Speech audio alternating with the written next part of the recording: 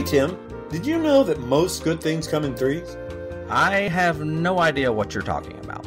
Sure, you do, Tim. Take classic literature, for example. There was Sophocles' Oedipus trilogy, three books in Tolkien's Lord of the Rings cycle. There were even three witches in Macbeth. Yeah, I'm not convinced that's always the case. Well, then what about music?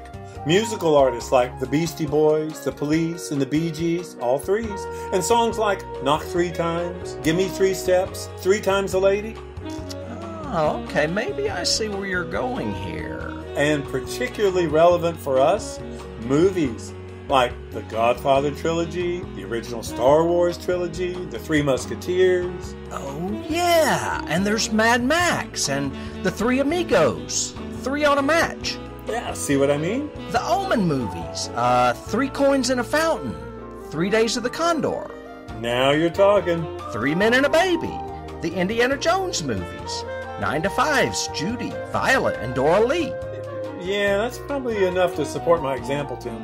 Three's Company, Peter, Paul, and Mary, Three Blind Mice, Protons, neutrons, and electrons. The Andrews Sisters. The Three Stooges. Alvin and the Chipmunks. Kirk, Spock, and McCoy. Charlie's Angels. Nirvana. Id, Ego, and Superego. Snap, Crackle, and Pop. Rush. Huey, Dewey, and Louie. The truth, the whole truth, and nothing but the truth. Three Lock Box. Three Little Pigs. Three Holes in a Bowling Ball. Three Sheets to the Wind. Three Ring Circus. Maybe we should change the subject. Johnny has the keys, season three. It's bigger, it's badder, and it's in your face. 12 additional episodes. Count them. 40 weeks of the horror and sci fi classics you know and love. Get on the train now before it leaves the station. Johnny Has the Keys can be found on most podcast apps, including iTunes and Google Play.